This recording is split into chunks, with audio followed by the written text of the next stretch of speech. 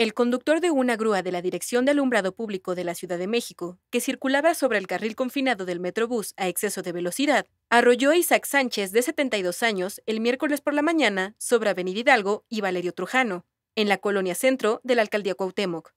El lesionado está en estado crítico, pues padeció contusión cerebral y lesiones en los pulmones, además de otras heridas de gravedad.